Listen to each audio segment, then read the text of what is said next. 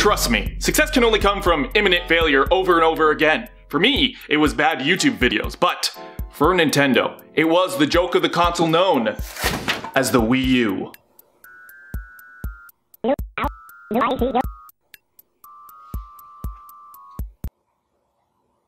Cat, what did you send to Scott?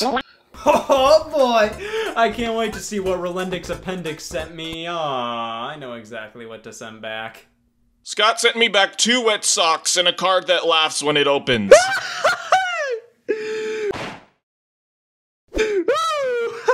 Play Mario Kart at 720p!